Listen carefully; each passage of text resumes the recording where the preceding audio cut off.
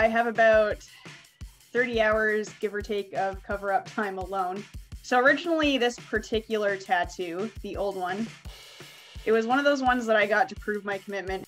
Like, basically, I'm here for life. What I basically had my artist do was hide the original symbol underneath um, where the leaves touch the skull. So the new piece, that is in memory of my friends Jan and Tim, who are both crossed over but very much still part of this journey. It's a candy skull. Um, Mexican culture, they have um, the Day of the Dead. They paint up skulls that remind them of um, long lost relatives of theirs. And it's basically just to keep their memory alive.